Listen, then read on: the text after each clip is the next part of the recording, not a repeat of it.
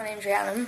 Uh, I'm 19 years old and I was diagnosed with Tourette's at the age of 16 back in 2012. Um, people think that Tourette's is just about swearing, basically. It's not. Um,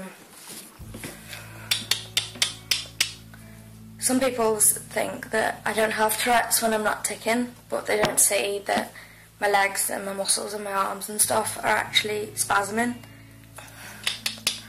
At the minute, I have problems with sleeping because whenever I lay down to go to sleep, obviously my whole body decides to um, jerk, and uh, it can be annoying.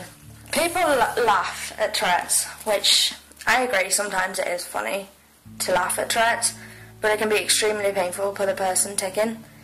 Um, it can be a pleasure to have Tourette's. It makes people laugh, and I do enjoy people being happy and not worrying about me. My worst tic at the minute is to do with my eyes.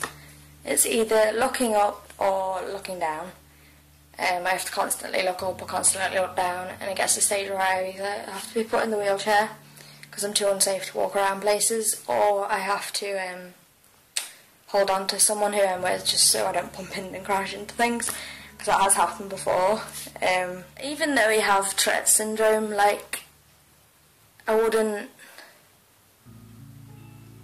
I wouldn't go back in time and wish I never had it, if you know what I mean.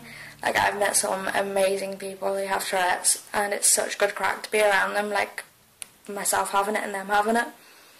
Um, like, I've made best friends through having Tourette's syndrome. Tourette's syndrome doesn't have as much awareness, so hopefully, my aim as a youth representative for Tourette's Alliance is to spread awareness and uh, educate people.